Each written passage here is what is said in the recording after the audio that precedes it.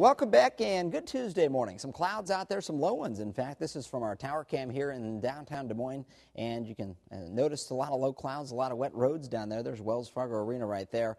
And the conditions are that we're going to be likely drying, or likely that's going to be the trend over the next couple of hours, drying things out. 64 is the number right now. East southeast winds are just over 10 miles per hour. Here goes the storms from last night off to the east.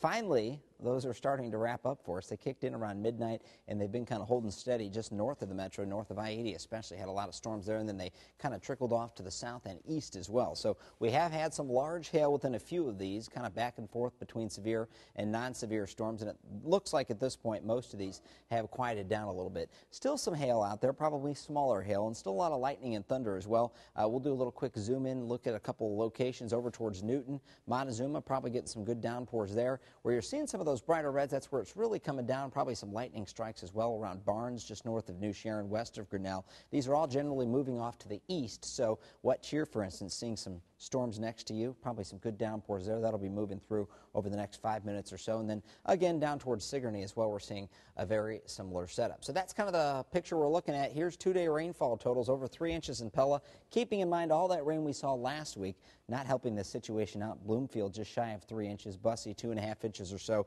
Here at the studios in downtown Des Moines, KCCI studios, 1.6 inches Oskaloosa.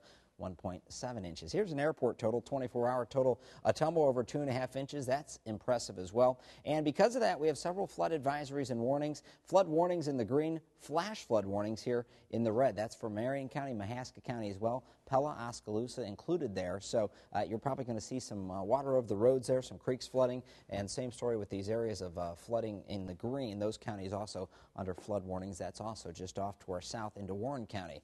Flash flood watch for everybody else who's not under a warning right now along and south of I-80. It's because we're not quite done yet. It looks like late uh, today, tonight, more showers and storms in the forecast. Uh, again, the ground already saturated, so any rain we see will give us some problems. Temperatures generally in the 60s, an exception Fort Dodge, 59 degrees. Here's a wider perspective. Notice those storms are going to move out. It's pretty quiet west of us right now, so that means we will likely see some dry time through the middle of the day.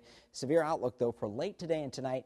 We're on the northern edge of this, so I-80 southward, chance for a couple of strong storms late this afternoon, this evening, especially towards the Missouri border. I think the worst of them will be down into central and northern Missouri for later on today. Here's Futurecast. Showers, storms moving out this morning, dry through the middle of the day, but again, late this afternoon, this evening, we'll look for a few more storms to fire up. Temperature-wise, cooler off to the north, low 70s, some upper 70s south. We're kind of sandwiched in between that here in the metro. We'll say 74 with some storms firing up late today and tonight. We'll keep them going tonight. Could be a couple of strong ones, especially south. 62 is your low. Wednesday's high, 78. Shower storm should be out of here by noon. And then into the afternoon, we'll go dry. We'll stay dry Wednesday night. Thursday looks dry. We need some dry time. 80's the high Thursday.